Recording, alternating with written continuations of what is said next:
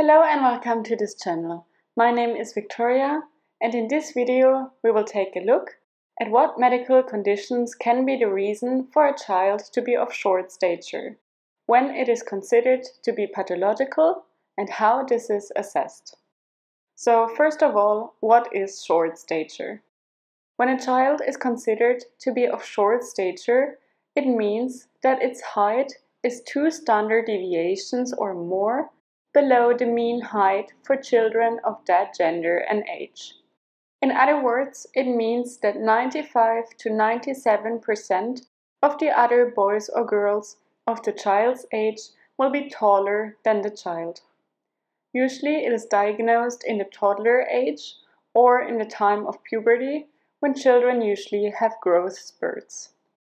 I want to quickly recap how we calculate the target height for a child.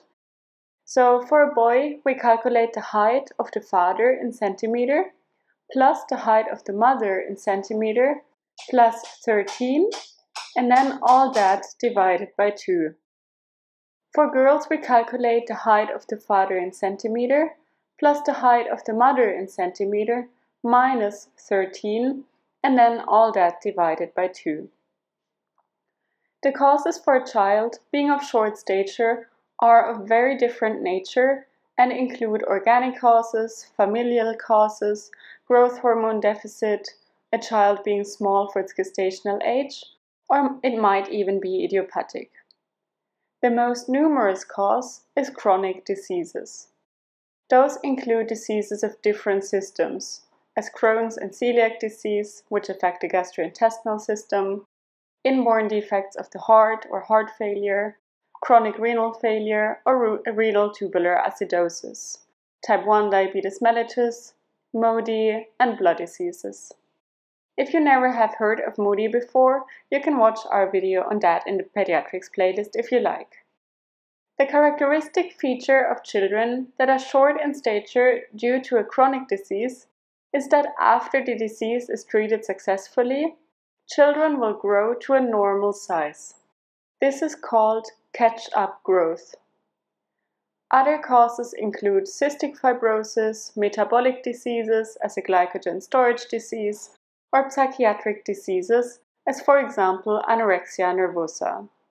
If you want to know more about eating disorders as for example anorexia nervosa, you can see the video on that in our pediatrics playlist as well. Also nutritional deficiencies can cause a disruption of the normal growth in the child also to this topic we have a separate video. Familial short stature is the most common cause. It is not considered as a disease, as usually both parents are short and by the calculation of the target height, we see that the children will be short as well. If we calculate, for example, that a girl has two parents that are both 150 centimeters tall, that then would be 150 centimeters for the father plus 150 centimeter for the mother minus 13, which equals 313 divided by 2 would mean that the girl would be around 165 centimeter as an adult, so not exceptionally tall. This is also the mean height, and plus or minus 8.5 centimeters would still be considered normal. So if she would be at the lower edge of her normal height, she would be around 148 centimeters tall as an adult. The next group of causes is the constitutional delay in development. This is the second most frequent cause for short stature, especially in boys. Here usually the growth is slowed down and the puberty occurs rather late.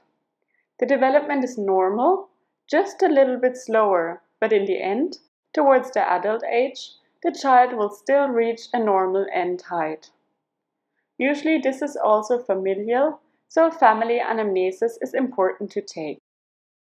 Other causes for short stature include intrauterine causes, as for example, if the mother consumed alcohol during the pregnancy, if she had any infections or placental insufficiency, for example caused by smoking during the pregnancy, or if the mother did not have a sufficient nutrition while the child was developing in the womb. The next group of causes are skeletal anomalies. An example for that is rickets, about which you can hear more in our video about it.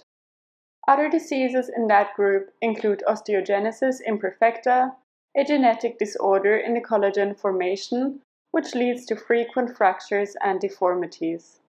Also, achondroplasia is a skeletal disease which leads to a disproportionate short stature, which means that certain areas of the body, as for example the arms and legs, are more affected than for example the trunk of the body. Also, endocrine disorders can lead to short stature. This includes disorders of the pituitary gland as a deficit in growth hormone, disorders of the adrenal glands as hypercorticolism, and disorders of the thyroid gland as hypothyroidism. Also, certain chromosomal anomalies can cause short stature, as Turner syndrome and trisomy 21. You can see more on genetic diseases in our biology playlist.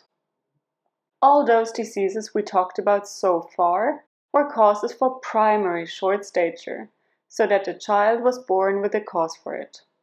Other causes are secondary causes that lead to a child being of shorter stature.